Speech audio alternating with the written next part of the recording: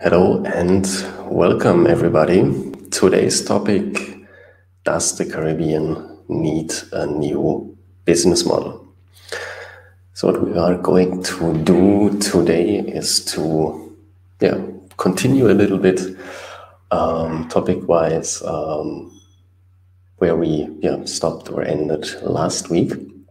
And uh, yeah, we want to have a look at the current um, economic situation in the Caribbean, some of the problems um, that we might see there. And um, of course, we will also talk about potential solutions or how a sustainable and uh, yeah, future proof long term business model for the different Caribbean states could look like. But before we do that, um, yeah, I want to ask you to let me know if you can see and hear me loud and clear. Yeah, feel free to hit the like button and uh, yeah, say hello in the chat just to make sure that you guys can see and hear me loud and clear. So, what are we going to talk about today? We talk, we're going to talk about yeah the tourism and banking sector. We're going to talk about remittances. We're talking, going to talk about inflation. We're Going to talk about business process outsourcing and uh, many, many more. Going to talk about potential solutions. Um, yeah, that we should have a look at. So um, yeah, why do I think it's important to talk about these things? Um, yeah, as I said, um, last week, we talked a little bit about the current risks that um, yeah, a lot of Caribbean states um, are facing because of the global situation, um, yeah, with the pandemic, with the current economic situation on the whole planet, in China, in the US, in Europe, um, and so on, and of course the effects that that will have um, on yeah a lot of Caribbean economies. So let's talk a little bit about the status quo, meaning, um, yeah, what is the current situation in the Caribbean? And of course, um, yeah, if you have a question, make sure to drop it in the chat, in the comment section. Um, yeah, use ask um, or the has hashtag ask, um, yeah, so that I know that you have a specific question. And then, of course, I will take the time to answer it. So, um, yeah, what um, what is in my eyes one of the main um, problems right now in the Caribbean? Um, we have a lot, but uh, yeah, start with the most uh, yeah, the most precious one. So when I um, yeah, look at the GDP development um, of a lot of Caribbean countries over the last you know, two years, um, especially 2020 and 2021. Um, what we see is that we um, yeah, see a contraction of the economies, um, no matter which Caribbean uh, state you're looking at. Depending, yeah, uh, which statistic you're looking at, we're talking about five percent um, decrease of GDP, um, sometimes up to 15%. And um, yeah, one of the main reasons, of course, for that, there are a lot of them, but one of the main reasons um, is that, as you know, most Caribbean countries are very reliant on the tourism sector. Um, and not only that, um, besides tourism, um, also a big part of the GDP is attributed to banking and finance services, but we will talk about that in a minute. And of course, um, yeah, over the last 18, 24 months, um, yeah, the global tourism basically came to a hold. And therefore, um, yeah, that impacted a lot of the Caribbean countries. For example, if we look at Jamaica, I think 25% of all jobs in Jamaica are directly or indirectly related to tourism. And I think 50% of the foreign um, influx of currency um, is attributed um, to tourism. So it's yeah fair to say that tourism in general is a big factor when we talk about economic development um, in the Caribbean right now. And of course, um, yeah, when we talk or when we see business owners um, or politicians uh, talking about the current situation. Um, yeah, we see a lot of people kind of praying that um, yeah, the global tourism gets back to normal. And to be honest, um, I have my doubts if that is actually going to happen anytime soon. Um, yeah, especially when we look at a lot of Caribbean states where we still have very strict um, regulations, where we still um, have curfews, where we have lockdowns, where we have no movement days. Um, I think it's um, yeah not really responsible um, to hope um, that the global tourism yeah is going back to normal and therefore hoping for that influx of money. So that's basically problem number one that we have that yeah, a lot of Caribbean countries are very reliant um, on the tourism sector. Um, reason number two, or current situation problem number two, is that um, again, depending on which uh, state or which country you're looking at, um, remittances um, are a big part um, of the overall GDP of a lot of Caribbean countries, um, meaning the money that um, yeah people or the diaspora overseas is sending or are sending back uh, to their home countries. And depending on the nation you're looking at, we're talking about 10, sometimes 20% of the overall GDP um, of a country in the Caribbean um, comes from remittances, meaning from yeah, money that families sending back um, to their home state. So um, therefore, I think it's important to understand that everything that um, happens on a global scale um, also affects indirectly um, yeah, the Caribbean economy. For example, if people in the US, Canada, Europe, UK, maybe even Asia, China, um, do not make as much money as they did before. Therefore, they cannot send that much money back home. And then, uh, yeah, that money is missing in the yeah in the economic system um, of the Caribbean. So that's the second um, yeah big uh, problem or big big dependency to be more specific um, that we are seeing right now. We're also seeing um, interest rates increasing um, all over the world. Um, last week, yeah, I already talked about that. And the question here is, of course, okay, is it more because of the supply chain um, issues that we're seeing all over the globe, um, meaning there's a shortage of goods in the system, um, or is it more because of the limitation, uh, not the limitation, of the increase of uh, money in the monetary system? yeah, the future will show um, which one is more um, yeah, responsible for the, the current development. But nonetheless, um, fact is, um, yeah, we have to pay more and more money for the same goods and services. And especially when we talk about Caribbean nations, um, which are yeah, often highly dependent from um, imports of goods and um, if we then see that the local currencies um, yeah, losing value compared to the US dollar, then of course that makes it more and more expensive um, for companies, for private persons to buy um, yeah, more goods and services and import them into the country.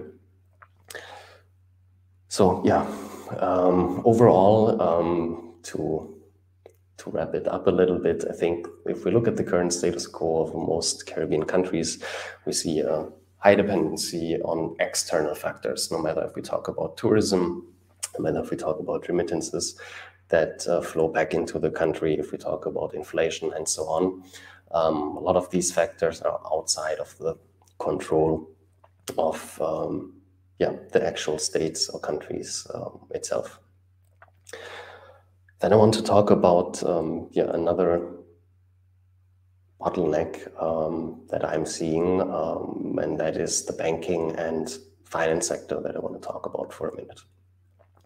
So when again, when we look at um, the GDP of most Caribbean countries, then we see that um, services, especially, financial services, attribute for a big chunk of the overall GDP depending on the nation you're looking at, we're talking about 10%, um, sometimes even more than that. To give you um, yeah, a comparison, if we look at um, Europe, for example, um, financial services, banking services usually attribute in the one digit um, area um, to the overall GDP, meaning we're talking about one, two, three, four, maybe 5% of the overall GDP um, is contributed to financial services. Um, on the other hand, I hope uh, or I think probably can agree with me on that is that when we then look um, at the financial services or banking services that are actually offered to the locals in the respective countries, um, they are often, yeah, how do I formulate that? So, yeah, mediocre or not on the level um, that they should be to, yeah, encourage uh, trade, payments, and uh, yeah, to to accelerate the economic growth uh, overall and make it easy to do business um, not only locally but especially when you're talking about cross-border payments. And um, yeah, therefore, I think uh, we also need to have a discussion about that or need to think about the question why, on the one hand, do so much Caribbean countries have such a big financial and banking sector when we look at the GDP, but on the one other hand, um, the actual services that they offer to the population um, yeah, are so mediocre and uh, subpar. And uh, yeah, the question is probably easy to answer because most of the, well, not most, but a lot of the services um, are actually offered only to foreigners. Um, for example, yeah, to not talk too deep about that, but we when we talk about names like uh, or titles like subjects rather like Panama Papers or more recently um, the Pandora Papers, we see um, yeah that these banks or small islands are often used to yeah, hide money um, or even worse, sometimes laundering money, uh, tax evasion, things of that nature from yeah, very wealthy people um, all over the globe.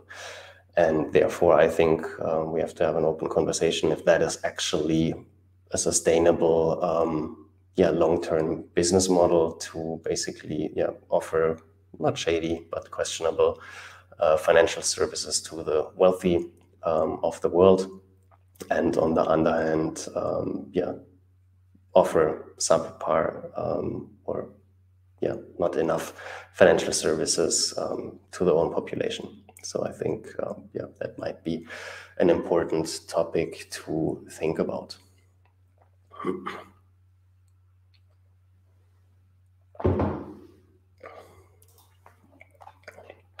So Denise is asking, um, what services would you say are mediocre?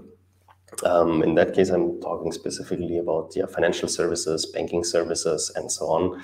Um, I don't know which uh, country you are from uh, in the Caribbean, but um, yeah, when I look at, uh, let's say, the struggle you have to go to to even open a bank account, a lot of amount of paperwork you have to um, do the amount of time it takes to actually just open a simple bank account, um, yeah, just uh, slows yeah, business down. Um, then yeah, things like online banking, for example, um, yeah, are often not on the level uh, that you would um, expect, especially when you keep in mind that these are often um, yeah, software issues, uh, meaning it wouldn't be so hard to implement or to program a solution that actually enables uh, at least local uh, yeah, online payments uh, easier, interfaces, um, and so on. Um, but also things like uh, cross-border payments, for example, um, meaning a lot of Caribbean, especially Jamaican uh, companies, um, yeah, still have a lot of trouble to accept payments online. So the amount of hoops they have jumped through uh, to actually be able to accept the credit card payments on the website uh, and things of that nature just limits the ability to do business um, internationally. Services like Stripe or PayPal, for example, just don't work um, in the Caribbean or are often very limited um, in the functionality, so they are not um, yeah a real a real solution for a lot of businesses. So therefore, um, yeah, at the end of the day, um, currency payments, cross-border payments, um, ease of use of online banking um, solutions, and so on are just one of the vital factors when we're talking about doing business today in a more and more digital environment and in a more international environment. Meaning, especially when you offer services, um, it doesn't really matter who is buying your services. If you're programming an app, for example, your client can come from the US, uh, UK, China, you name it. Um, you can deliver your, your service, you can deliver your product, but um, you might have yeah, some troubles to actually get paid or yeah, it's very complicated um, to actually get paid or is yeah, there's a lot of uh, it's also very expensive, meaning you have to pay a lot of fees and so on. So um, yeah, that's what I mean when I say that uh, the services, especially in the financial sector, are uh, mediocre compared to, of course, a lot of the more developed uh, markets in the world. But um, I mean it specifically from the perspective that when we look at the GDP, um, that um, yeah, most of the financial services, or not the most, but a lot of big part of the financial services um, that contributes uh, to the GDP actually comes for services um, that are offered not necessarily to the local population, but uh, yeah, to, to international clients. Therefore, the local population doesn't really benefit uh, from that. So if you're from Jamaica, then um, yeah, you know the, the struggle um, you have to go to if you want to open a bank account. Yeah, if you want to use um, online banking, if you want to accept payments online, um, and so on. So I hope, uh, yeah, that answers your question.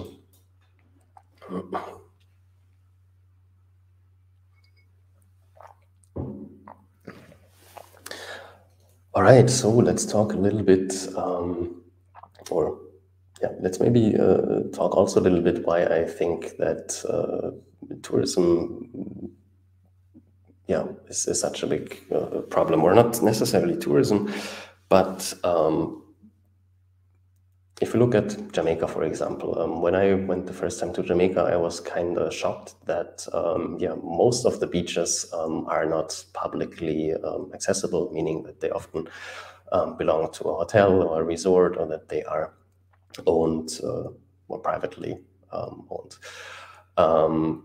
Um, because yeah, basically every other country in the world I travel to, um, most of the or the beaches um, are just public uh, property or public goods, meaning everybody can um, go there. and what I realized is that the business model of a lot of Caribbean countries is basically to yeah, sell their real estate and literally to sell their beachfront property. And uh, we can talk about the tourism sector where they sell the beachfront property to big uh, yeah, hotel or tourism companies. They, again, often are owned um, by companies or individuals um, overseas, meaning all that money that is generated there, besides the tax income, yeah, is often uh, or flows often outside um, of the country. Often, yeah, when we talk about Jamaica, often back to Canada, the US, um, and so on. And at the end of the day, we're talking about states, um, island states, um, more often that uh, yeah, have very limited landmass. So there's only that limited amount of beachfront property of real estate that you actually can sell or lease um, over time as a business model. Excuse me. Um, and not only that, so not only from a tourism perspective, also from a trade perspective. For example, again, let's look at Jamaica. Kingston Harbor, um, or Kingston is one of the biggest ports, one of the biggest natural harbors um, in the world.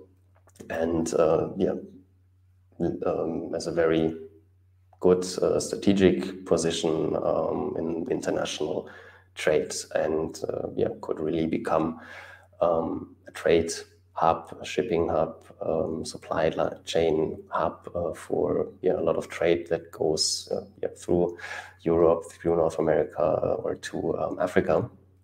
But um, a big part um, of the Kingston Harbor or um, yeah, Kingston Port, I don't know how to say it correctly, um, is actually sold or leased to the Chinese, meaning, yeah, the, even here we see that for the maybe that's a little hard to say, but for the short term benefit of getting some money um, into the bank, um, a big asset has been sold. And I think that's what I'm seeing over and over again that a lot of the most valuable assets, meaning uh, real estate, um, natural resources, um, trade uh, routes, and so on, are sold um, or leased to foreign um, entities that, of course, yeah, brings in uh, money on the short term. But from a long term perspective, again, at some point in time, you run out of uh, assets um, that you actually can sell. So I think, um, yeah, that's also not a really sustainable um, long term solution. All right, so um, let's talk a little bit about um, yeah, the, the solutions or, or the potential solutions um, that might uh, help in that regard.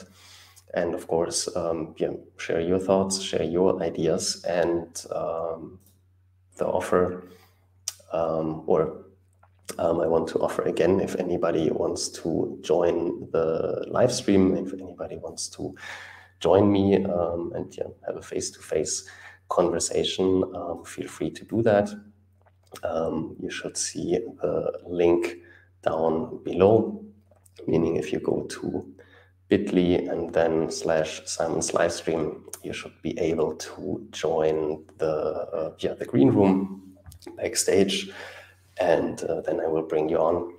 And uh, yeah, you can share your thoughts, you can share your ideas, and then we can maybe have a conversation. So I will just keep the link here for a second. okay, so what do I think? Um, what can be some solutions? Um, what can be some approaches um, that maybe, uh, if not eliminate completely, but uh, maybe yeah, lower some of the, the risks or, or downfalls that we are um, seeing right now. So, um, yeah, one thing that people are talking a lot um, right now or over the last years, especially yeah, when we talk about digital transformation and the more and more yeah, digital global economy is business process outsourcing.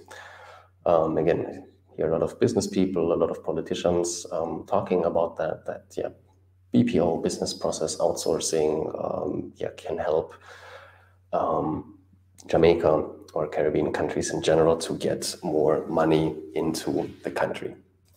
And uh, generally speaking, I would agree with that. Um, but I want to, yeah, maybe talk a little bit more detailed about that um, in a second. Good morning, Roderick. I pronounce it correctly, Roderick Jordan. I hope so. Glad to have you here. And uh, yeah, for everybody that um, is just joining, um, today's topic is, um, yeah, or is the question, does the Caribbean need a new business model. Yeah, and we kind of continue from last week's conversation where we talked about some of the current economic risks um, that we're facing globally, and more specifically um, the Caribbean region, or how that can affect the Caribbean region. And uh, yeah, today I want to talk a little bit more specifically about the current situation in the Caribbean, um, if it's actually sustainable from a long-term perspective, and uh, yeah, what we maybe can do to um, yeah, develop a more sustainable long-term business model for um, yeah, the Caribbean in general and for the Caribbean island states. So yeah, if you have any questions, if you have any thoughts, any ideas, um, feel free to drop them in the chat, in the comment, comment section, and then I will try to answer them. Of course, leave a like um, if you enjoy the content. Um, that always helps the show. And of course, if you haven't done so as yet, make sure to go to the YouTube channel, subscribe there, hit the bell notification so that you get notified whenever I go live or whenever when we release a new video. And again, the offer is still valid. Um, if you want to join me and uh, yeah, if you want to have a conversation about the current topic or if you have any question, feel free to join me through uh, or join the live stream through the link that you can see in the, yeah, the video and the image below. And uh, yeah, then you will enter backstage in the green room and uh, yeah, I will bring on and we can have a conversation. All right, what was I talking about? Exactly, business process outsourcing. Um, it sounds to me that for a lot of uh, uh, yeah people, um, business process outsourcing is kind of the holy grail. Um, how uh, yeah Jamaica or Caribbean states um, can kind of get more currency um, into the country. And on the one hand, first of all, I definitely um, would agree with that. Um, from the perspective that I think um, every Caribbean nation should think about okay, what kind of services can we offer to the global market, and uh, that is where there's actually a demand for. And I think that is also, yeah, the not the problem, but maybe the, yeah, well, maybe we can call it problem. Um, but one of the details we have to talk about because I think it's very important to make sure that we talk about the right sort of business process outsourcing. Because at the end of the day, when I read about the companies or the services um, that um, yeah, are active in that area in the Caribbean right now, we often talk about very low level tasks like um, yeah, call centers for example, and so on. And uh, yeah, nothing against uh, call center agents, but um, in my eyes, that is basically a race to the bottom because um, yeah, there are just so many or so much um, English-speaking nations um, in the world that um, yeah, that is a very um, how do I say that the qualification is not very high, meaning everybody yeah can do customer service um, if yeah you speak English uh, with yeah not so hard of an accent. Um, you should be able to yeah be a customer service agent every, anywhere in the world, meaning the competition is just very high. So over the last let's say 10 20 years, uh, we primarily um, have seen that a lot of companies are outsourcing their English speaking um, call center agents um, into to India, for example, or to other countries where they have to pay very low salaries. And um, therefore, um, if now the Caribbean or Jamaica um, tries to enter these markets, then you also have to compete on a very low level um, when we're talking about uh, payments and so on. So I'm not so sure um, if that approach is the right one. Of course, yeah, it can still um, create a lot of jobs for people that maybe are not so um, qualified. But what I think um, is more important is, um, let me just remove that. What I think is more important to focus on services, um, on BPO services that are actually on high demand, meaning things like um, programmers, meaning things like developers, data analysts, um, and so on. Um, I want to, or as a, as a general idea, um, I want to recommend to everybody to look at um, similar states, for example, Estonia or Singapore, which are also relatively small, um, relatively low population, um, not um, much of natural um, resources um, that they can sell. And what these uh, nations basically do is exactly that. They focus on very um, yeah, high quality services that they're offering to the yeah, global market, meaning financial services, digital services, um, programming, development services, and so on. And um, last but not least, also um, to create a kind of digital society or digital um, ecosystem. For example, let's take um, Estonia, um, yeah, a company of the European, a company, a country of the European Union. they already, or after the Soviet Union uh, collapsed, they were in the yeah, precarious situation. Um, yeah, again, they didn't have a big um, economy, very small, very small population. And now the question is, okay, what is our business model? And they started early on to invest in uh, digital infrastructure and uh, in digital education and basically created a complete digital society and government, meaning you can open a bank account online, you can uh, open and register a business online, you can do uh, get a passport online, everything, all the paperwork, all the bureaucratic stuff that usually costs a lot of time and money, um, you can easily do that online, and that means just from basically every part um, of the world that you are in. And I think um, when we look at the Caribbean, something like that um, yeah should be should be the goal meaning um, not just selling cheap labor in, in call centers but make sure that the, the regulation uh, that the regulatory environment um, is set up in a way that attracts uh, yeah people that want to do business here that the digital infrastructure um, is set up in a way that attracts investors that attracts business. Um, and of course um, yeah also that uh, offers high qualified um, yeah, high qualified workforce um, that's actually able to deliver services that are in demand in yeah, today's day and age. All right, let me have a look at the questions. Okay, I will take um, Roderick's question first, and then I will jump into yours, Denise. I think um, that makes the most sense. So Roderick is asking very valid points uh, regarding BPOs. Our main challenge, however, is that we are focused on job creation first.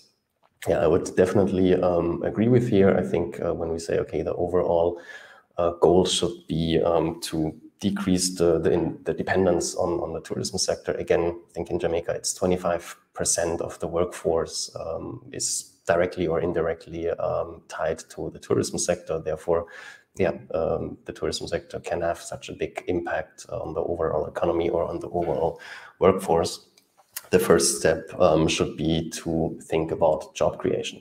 And of course, um, yeah, things are very, uh, yeah, let's say low level task or low level jobs like call center, customer service, and so on uh, can be a starting point. But again, I think um, we need to have a little more long term approach here and not that that short term thinking. And um, yeah invest into the education um, of the workforce to make sure that we actually on the long term are offering services that are competitive that cannot be um, yeah get um, well that uh, the, the, global market cannot that easily um, acquire elsewhere and that we're not competing um, yeah just on price meaning hey okay uh, we are cheaper than India when it comes to uh, call center agents. Uh, that should not be the, the pitch, that shouldn't be the sales argument, but hey, we have a high qualified uh, workforce, we have high qualified uh, data analysts, programmer, AI, cryptocurrency, and so on, meaning technologies of the future. And I think the the big or the great advantage, uh, let me phrase it like that, is that compared to a few years ago where it really yeah, wasn't really able to, to acquire these skills, um, today we have the opportunity, meaning there are even free, so much free resources out there. Free Code Camp, for example, or most um, of the big um, American universities, Harvard, MIT, and so on. All of them are offering free courses in data analytics and robotics, in development, in programming, uh, in software development, web development, all these technologies um, that are in high demand right now, that um, it wouldn't be even a big financial investment from uh, from the government that we have to build a completely new education sector and so on. We literally can use a lot of the infrastructure that is already there um, to yeah make sure that we mid and long term on the mid and long term perspective actually um, yeah build um, jobs or create jobs that are competitive in the long run and not just okay we create jobs that um, yeah very quickly to create but also get uh, or the risk is also that they become obsolete um, very quick all right let's jump into the question from Denise. What are your thoughts on cryptocurrency Bitcoin as a source of payment for the Caribbean? A very good question, and I think um, yeah, over the last weeks and months, um, a very yeah, uh, a lot of debates um, around that topic. Um, yeah, we had the central bank or the Bank of Jamaica, um, yeah, minting their their uh, central bank digital currency. So I think it's a very hot topic right now.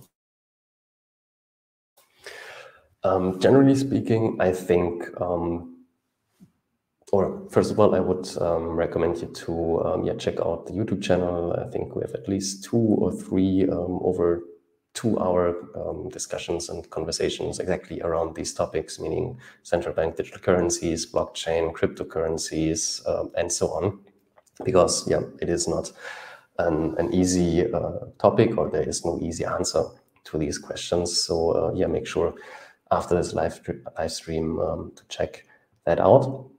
Um, yeah, with I have discussions or conversations there with people that are way more or bigger experts um, when it comes to blockchain and cryptocurrency that I am. Nonetheless, um, I think when we talk about blockchain as an underlying technology, um, I think that's a technology that will um, yeah, revolutionize so much over the next 10, 50, whatever years that I think it's hard to um, to make predictions how that will actually look like a few years down the line. And I think um, it's at least yeah probably equally impactful as the internet um, in general. Um, yeah, will will be will be blockchain over the next years. So um, when we're talking about um, cryptocurrencies, blockchain, Bitcoin, um, as a source of payment for the Caribbean, I think we need to really look at okay, what are we talking about here? Um, because I think um, the the major issue are cross-border payments, meaning um, yeah, can I from Germany buy or pay easily for goods and services um, in the Caribbean, in Jamaica, for example, Denise, um, or vice versa. And uh, right now, that is a big uh, bottleneck. That's a big problem because most uh, yeah, cross-border payments basically go through um, a handful of big international banks, and they are kind of the gatekeepers and yeah, charging high fees, fees, making it uh, yeah sometimes very complicated to actually do these um, or process these kind of payments. So I think it can be um, a technology um, that can really accelerate uh, the development um, in that area and can be very beneficial for a lot of uh, Caribbean countries because um, yeah, it make things makes things more transparent. Um, it enables cross-border payments. it's a decentralized system, at least when we talk about blockchain. And um, I personally think that it can, yeah, revolution, revolutionize a lot of sectors, not only the payment sector, but uh, the same with real estate, voting, um, ownership, digital ownership, um, and so on. And I think we just see the beginning um, of a lot of developments um, that will unfold over the uh, over the next years. Um, I'm also want to encourage everybody um, to do your due diligence, to educate yourself when it comes to these topics, because to be honest, um, yeah, there's a lot of, uh, well, I don't want to say scammers uh, or, or conmen in the market, but um, there are a lot of bubbles. There are um, a lot of players that just want to make a quick buck and um, yeah, a lot of people get maybe kind of uh, sucked into into the void, into the rush of yeah uh, of making uh, quick money, and uh, yeah, of course, there's also then some kind of risk associated um, with that. Meaning, um, I think a lot of people right now using cryptocurrencies um, or Bitcoin to be more specific, more as a speculative instrument, uh, same with NFTs and so on, than um, a reliable payment system.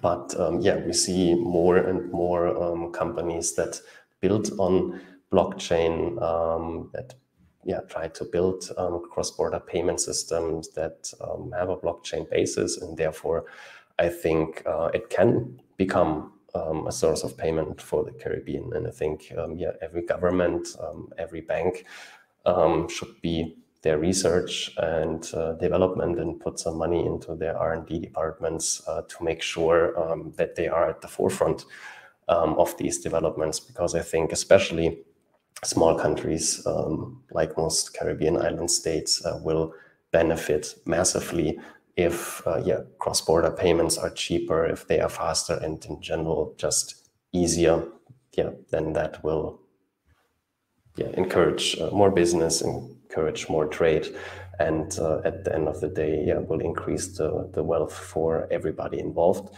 But again um, it's for sure not uh, yeah a perfect solution but i think the underlying uh, technology blockchain uh, yeah is very promising. Which is why regulation is crucial. Um, yes and no let me explain. On the one hand, um, I would absolutely agree. Um, regulation is crucial um, in that way, but more from the perspective that um, yeah, governments or regulators need to make sure that we have the right infrastructure and the right regulation to use that kind of technology. But um, when we talk about uh, blockchain, meaning about decentralized systems, um, then the question becomes: Okay, can we actually regulate these markets or that kind of technology? I want to remind um, you know, about uh, the live stream that we did, I think, two weeks ago with George Connolly, where we discussed um, the, the current situation with China banning Bitcoin or cryptocurrency uh, completely, or not completely, they cracking down over the last years more and more. But um, yeah, in that regard, China now uh, completely banned uh, all Bitcoin transactions and so on. And uh, although it's banned, um, people still doing it because it is a decentralized system. So there is nobody that really can uh, yeah, shut it down, that really can control it 100%. Um, but it will always be uh, yeah, controlled by the majority. And in my eyes, that is one of the, yeah, how do we say that? One of the um, big pros for um, for blockchain or for decentralized um, finance that it cannot be shut down. That it's basically basically yeah as democratic um, as it can be, and that you do not have one entity that is in power and uh, yeah can shut it down or can overregulate it or whatever.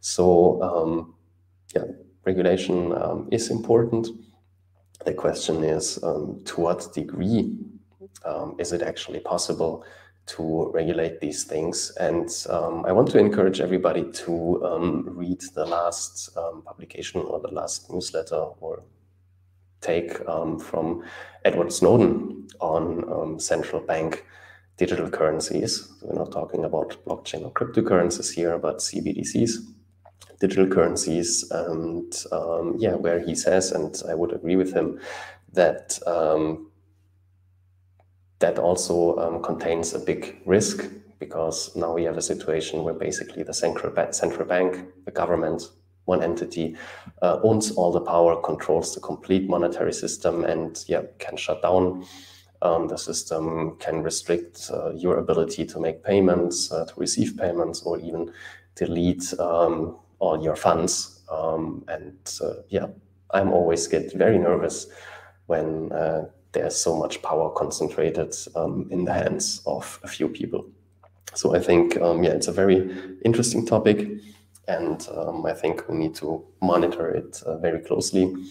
Um, and I think every yeah every Caribbean government, every Caribbean country um, should have yeah at least some research uh, or some focus done on that um, on that area because I think um, yeah if you do not have a digital or a blockchain or a payment strategy um, then uh, yeah you're probably going to be left behind over the next years.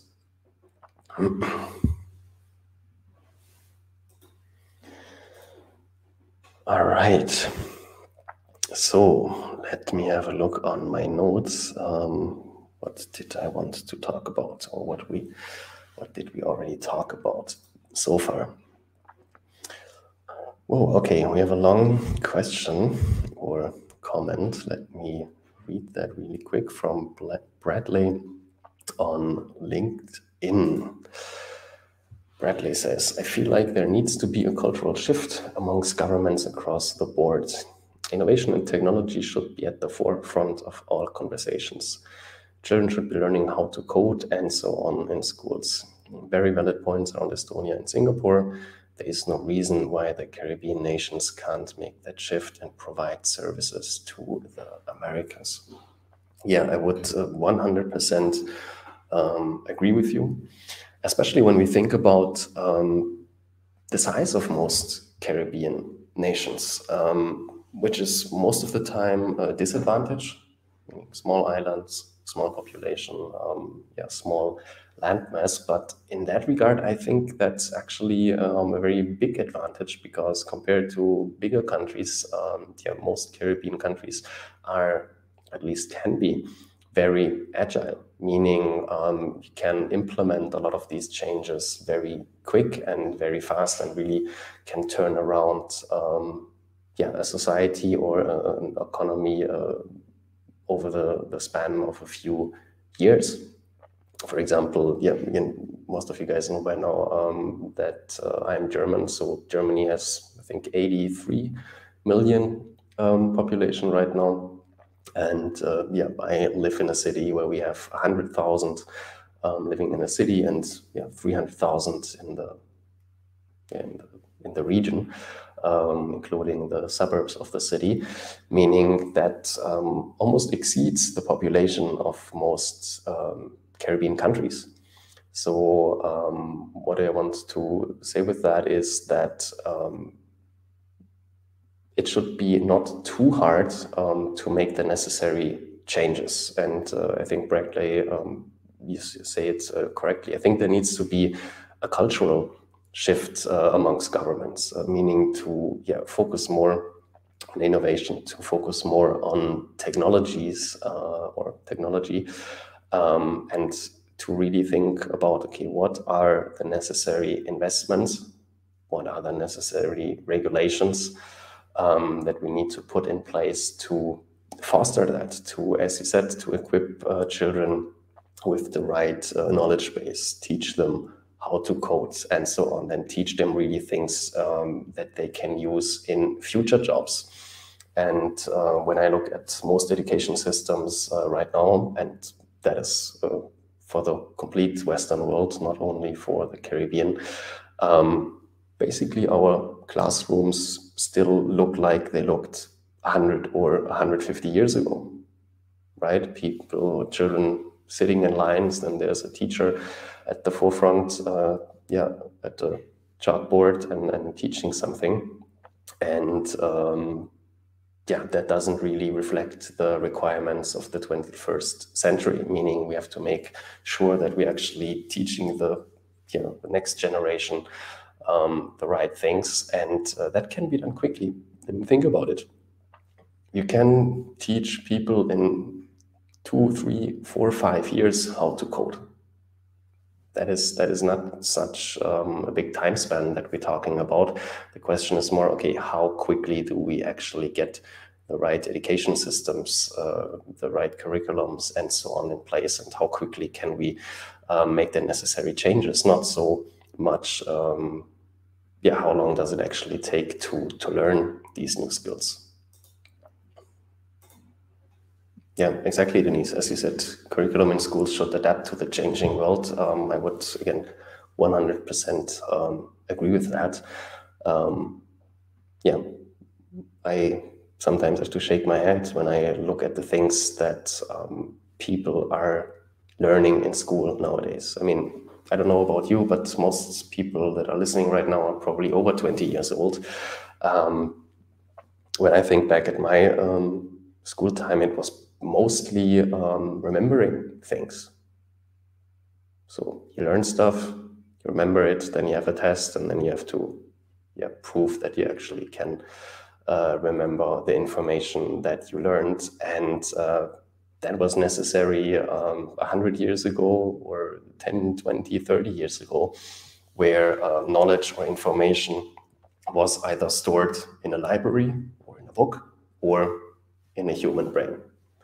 But um, nowadays, everybody has um, yeah a smartphone. Everybody has access to the internet, meaning we have access to the complete knowledge base um, of humanity and human history. Um, meaning there is no need for just learning things for the sake of uh, memorizing them. But um, yeah, Google can give you basically the answer of 90% um, of the questions um, that you might ask that are not context based, but that are just information. You do not need, uh, yeah, for example, uh, I don't know, names of historic battles or whatever you yeah, got taught uh, in, in school. You can look this stuff up. But I think um, what is important uh, to teach the younger generation is how to think critically, how to learn, how to use technology, how to use it in a yeah, beneficial way, to be aware of the advantages and disadvantages, and to um, actually yeah, equip the, the up and or the, the younger generation, the next generation with the tools that actually enables them to get a job in today's day and age or in the future. I think we do um, yeah, our, our youth service if we teach them the same stuff that you and I learned in school. I'm not saying that we should uh, yeah, remove everything um, that we learned. I think there are some basics that are always uh, and always will be relevant and important. Things like uh, yeah, math, yeah, language, speaking, presentation, critical thinking, and so on. But um, I think we need to make sure that um, the things that we're teaching uh, in schools um, are actually relevant to today's day and age. And um, yeah, I'm not sure if um, governments, if policymakers actually are fast enough and can keep up with um, yeah with the current developments. Because um, yeah, my father, for example, um, uh, worked in the uh, or works in the education field, um, and he once told me it takes roughly 10, 15 years from the idea from the first discussion about changing a curriculum or implementing new um, yeah new classes uh, till they are actually then taught in school. Because you have to first uh, yeah find a consensus. Okay what is the new stuff that we're actually teaching? Then uh, and that takes a few years on a policy uh, on a governmental level. Um, then now you have to um, teach the teachers first. They need to be able to actually teach that uh, and be educated in the field. That takes another few years, and uh, then you need to implement that in the schools and universities. And now, yeah, 10, 15 years are gone.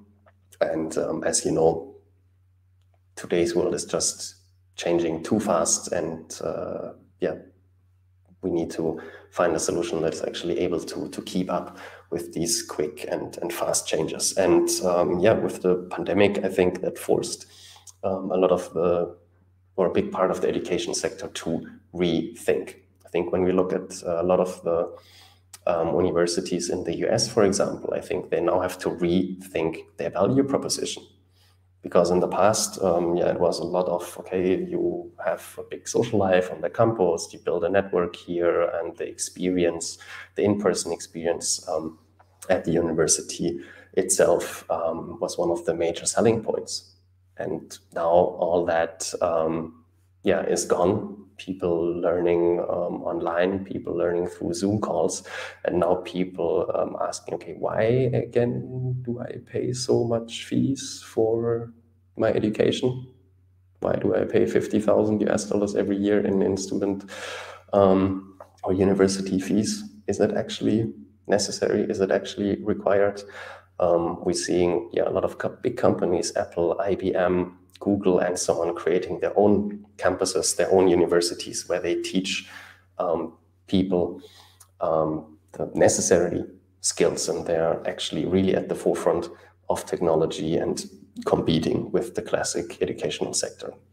And I think, um, yeah, if you are an 18 year old today, um, you have to make that decision. All right, do I go to an online campus where I only pay a fraction of the cost and actually get uh, to learn stuff that is relevant and is basically a job guarantee three years from now?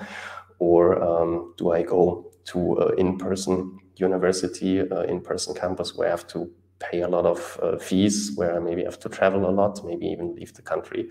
and um, at the end of the day learning stuff that is maybe already five years outdated so yeah we will see how this is going to develop but i think education sector is one of the sectors where we will or hopefully see um, more change over the next years give me one second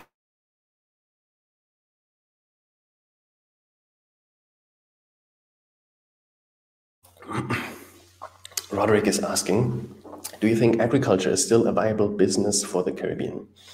With the technological with the technological advances both in production and tracking? Um, I think that is a very good question. Um, generally speaking, I think that agriculture is not um, really long-term sustainable uh, business model for most Caribbean countries. There's just not the, the landmass, and to be honest, uh, you cannot um, get the the prices on the international markets um, that you need to, yeah, be actually um, competitive. Then the Caribbean is a, in a region of the world where you have uh, on a regular basis um, yeah, natural, not catastrophes, but disasters. You have tropical storms, uh, you have droughts, you have, um, yeah, uh, what is the name? When the earth is shaking, just earthquake, forgot the name for a second. Um, so all things that can uh, easily interrupt uh, or yeah, devastate a, a, harvest and therefore um, yeah, is also a very volatile um, business model. And um, I want to make everybody aware, or maybe yeah, share a little story here. Um, or maybe maybe let me ask you a question. Um, what would you say? Would you say that products are generally speaking more expensive in the Caribbean or services? So do you pay more for products? Are they more expensive or services? And from my experience, I would definitely say that products are in general more expensive compared to, to other economies um, than services, and that services are relatively cheap in the Caribbean. And um, that is, of course, uh, one of the main reasons is because the Caribbean has to basically import um, most of their goods um, that they are using, even agricultural goods. Um, which then, of course, um, increases the prices. When we then look um, at, for example, the Americas or um, Europe, it's completely switched around, the other way around, meaning products are way cheaper than services. Services um, are more expensive. For example, to give you um, an idea, when I was last time in Jamaica and you want to wash your car, depending where you go, um, that costs you probably something, let's say 10 US dollar, maybe 15, maybe 20, so something, something around that number. If you want to wash your, or not yourself, but if you want to get your car washed uh, in Germany, for example, um, and basically the same stuff done, you easily pay 150, 200 US dollar in a country like Germany or in Europe. So 10 or 20 times the amount um, that you actually pay in the Caribbean for the same service. And on the other hand, again, the products uh, are way cheaper because, um, yeah, when we talk about agriculture, um, yeah, there are just regions in the world, they are on the one hand, um, from an environmental perspective, environmental perspective, way more stable, meaning they don't have to deal with all the environmental factors on the one hand. Um, and on the other hand, uh, yeah, maybe shorter supply lines, um, better infrastructure, and so on, meaning they can produce agricultural products on the yeah, on a for a way cheaper price. So um, I wouldn't really bet on that side. Um, although there might be one um, exception, and um, yeah, when we, for example, talk about Jamaica, um, it depends on what kind of agricultural product um, we're talking about. For example, if we talk about the cannabis sector, which is a extremely fast growing market in the US, um, in Europe. Um, globally, we're seeing more and more countries um, yeah, legalizing um, the use of cannabis in a recreational context, um, but also um, in a medical context. So the market is growing there or is, yeah, is uh, growing over time.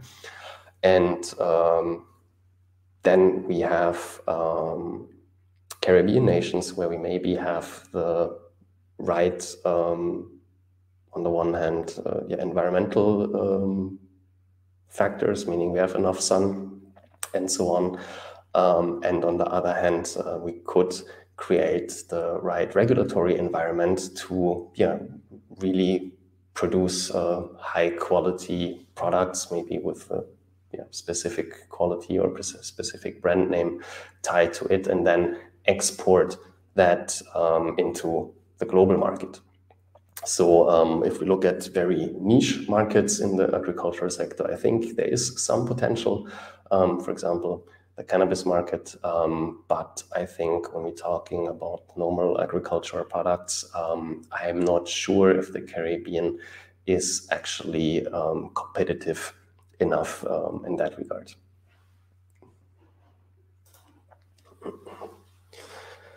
I agree with you regarding cost of products, and so the ability to not use the forex to import would have a positive effect on our chase for US dollar income from tourism. Yeah, um, I agree with you here. I think, uh, again, I said it earlier on, I think tourism accounts for 50% um, in Jamaica um, of the yeah uh, of the currencies um, or US dollar currencies um, that flows into the country. And um, I don't know if uh, Caribbean countries are actually net exporter of uh, agricultural goods. As far as I know, um, that's not the case. Um, even agricultural goods have to be imported um, on a bigger scale. So um, yeah, I think again, to, to answer the question, um, is agriculture a viable business for the Caribbean?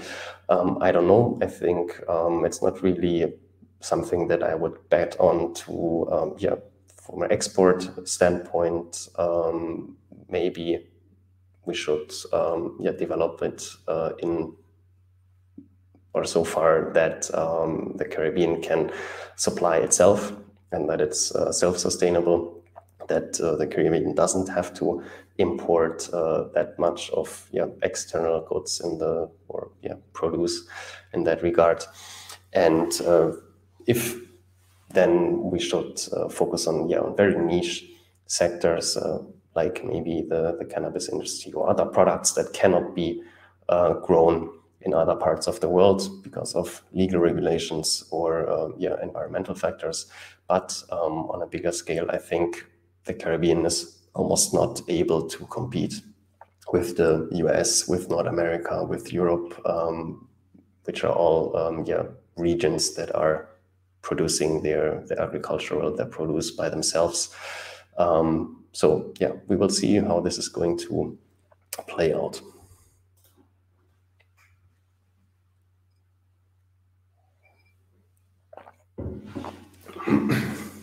All right, so we already cracked the one hour mark. Um, if you're still with me, um, do me one favor, hit the like button if you haven't done so as yet. Um, of course, feel free to share the video, feel free yeah, to share this content with everybody that you think um, could benefit from it. Um, I think yeah, the more open conversations we have about that, the more we can all learn that's usually the best way how you can support the show. And if you're watching on LinkedIn right now, I would uh, yeah encourage you to head over to the YouTube channel, subscribe there, hit the bell notifications so that you actually get notified uh, yeah when we go live or when we release um, new videos.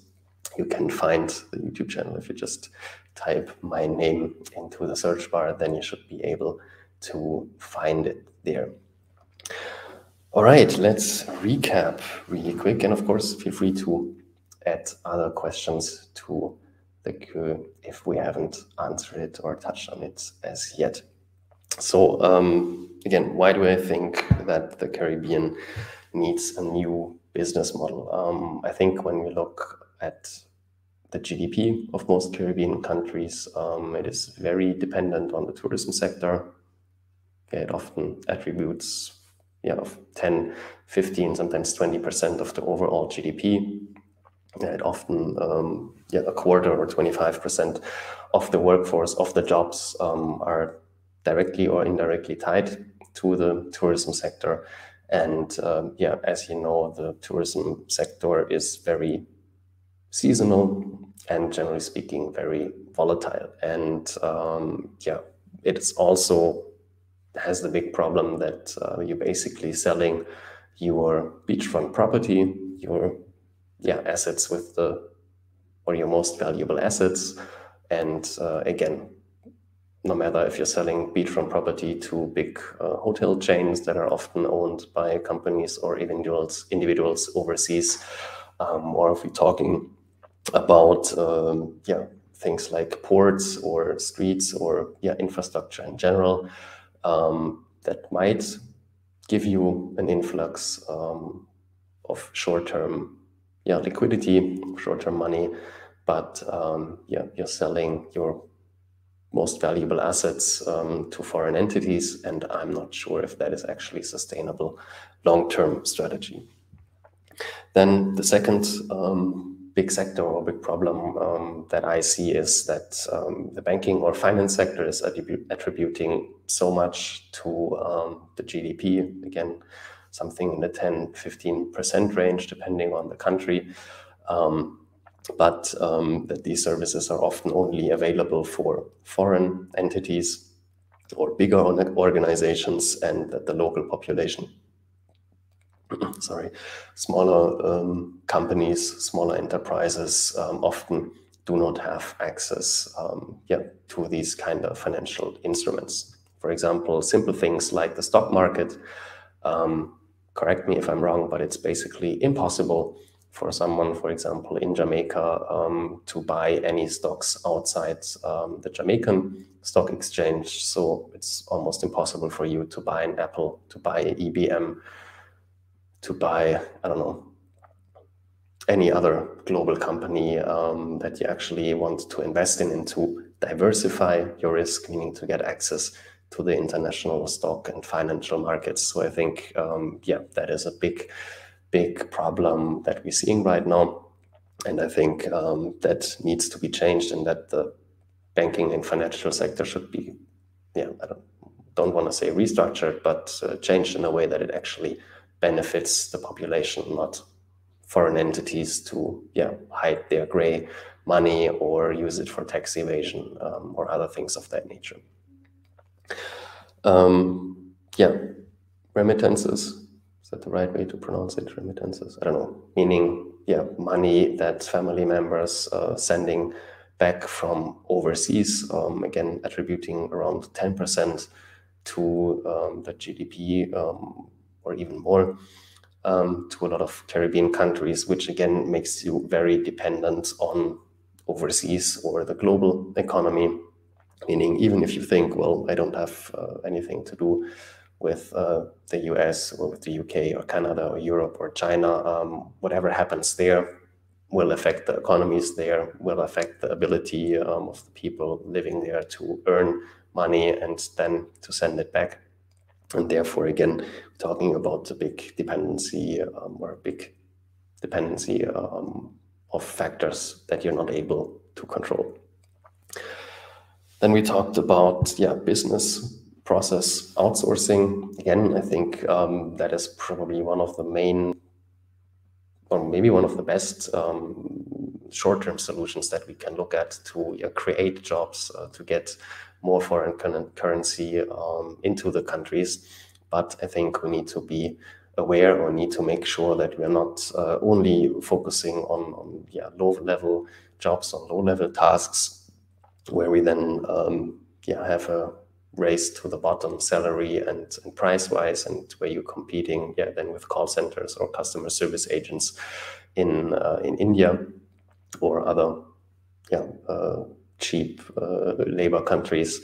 So I think when we're talking about business process outsourcing, we need to make sure that we really focus on high quality services that um, not only are in demand right now, but will be in demand uh, 10, 20, 30 years from now. And then we're talking about coding, data analytics, AI, blockchain, coding, uh, yeah, developing software programming, web development, uh, and all of these things and uh, yeah, not only on, on, call center agents that might be replaced a few years down the line by AI and uh, yeah, speech recognition and, and text to speech.